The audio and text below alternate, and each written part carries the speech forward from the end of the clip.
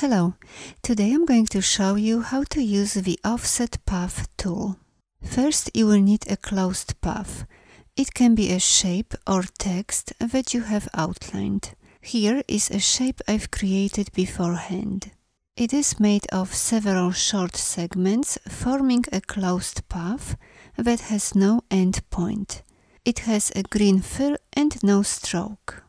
Offset path means creating a duplicate shape or path at an equal distance all around the original shape or path.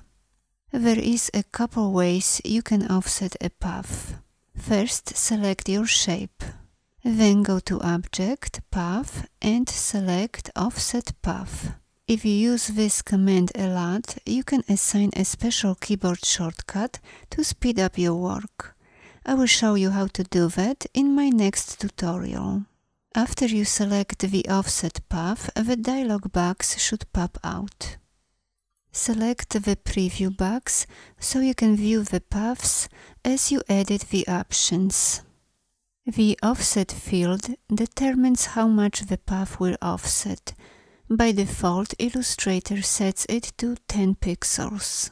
Let's extend it to 30 pixels outward from the original shape. Using the negative number will cause the new path to decrease by the specified number of pixels. I'm going to show you a few keyboard shortcuts that can be useful while offsetting paths. First highlight the number in the offset window and then use the up arrow key on your keyboard to offset the path outward or the down arrow key to offset it inward. When you press and hold down the control key and then press the arrow keys, you can offset the path by every decimal point. Pressing the shift key instead will offset it by every 10 pixels. Let's change the color of the offsetted object. Now you will notice we've got two separate objects. Select the pink path and let's offset it outward by another 30 pixels. Go to Object, Path, Offset Path, leave the offset as it is and change the color. Let's offset the green shape inward. First select the green shape, then go to Object, Path, Offset Path.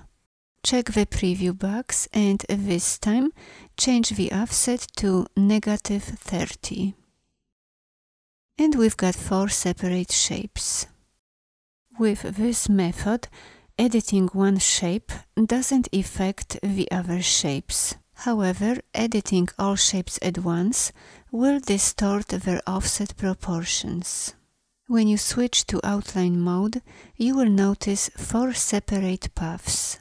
Let's delete all the shapes, leaving only the blue one. Select the blue path and let's offset it again. In the Offset Path dialog, you have two more settings. The Joins field allows you to edit the new path's angles.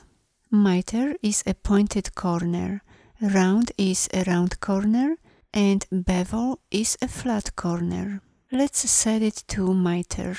The miter limit is how far the points can extend beyond the original path. By default it is set to 4. Let me show you this on an example. I will select the two top anchor points and move them up to create acute angles.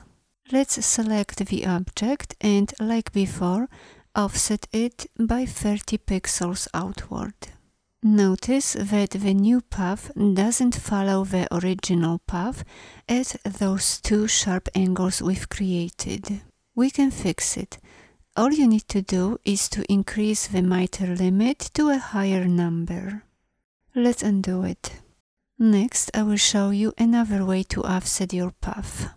With the path selected, go to Effect, Path, and offset path. Let's change the offset to 30 pixels. Next, open the Appearance panel and drag the offset path to the fill. Let's lower the opacity. To create an offset path, first let's copy this layer. Just click on the fill and drag it into the duplicate selected item icon. Now select the offset path of this new fill and let's offset it by another 30 pixels. You can either let Illustrator do the math for you or type 60 into the offset window. Let's create one more offset path. Duplicate the top fill layer, select its offset path, and add another 30 pixels into the offset window. This method is easily editable. Moving an anchor point, for example, won't distort the offsetted paths like it did in the previous method. When you switch to an outline mode, you will notice we've got just one single path. Let's create the two acute angles like we did before. To change the miter limit, open the Appearance panel, select the offset path of the top fill and increase the miter limit. Now do the same with the other paths. Before you draw another shape, be sure to go back to the Appearance panel and clear the appearance. Otherwise, your next shape will adapt the same attributes that you've used last time. The Offset Path tool has many uses. For example, you can make a perfect border around any shape. It can be used to create negative space around text. The Offset Path tool can also be used on strokes as well, or creating logos for example.